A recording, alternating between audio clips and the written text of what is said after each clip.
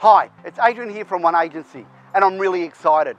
2 to 18 Obeid Road has just set a new residential sales record in Sunbury, smashing the previous mark by half a million.